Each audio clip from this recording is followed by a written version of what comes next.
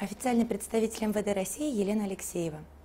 В Бурятии сотрудниками Главного управления экономической безопасности и противодействия коррупции МВД России совместно с местными коллегами проведены мероприятия по декриминализации сферы добычи и оборота нефрита.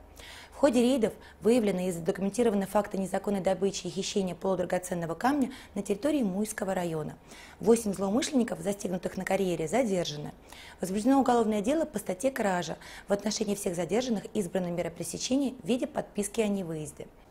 На месте происшествия обнаружена дорогостоящая карьерная техника иностранного и отечественного производства, а также нелегально добытые полудрагоценные камни общим весом более полутора тонн.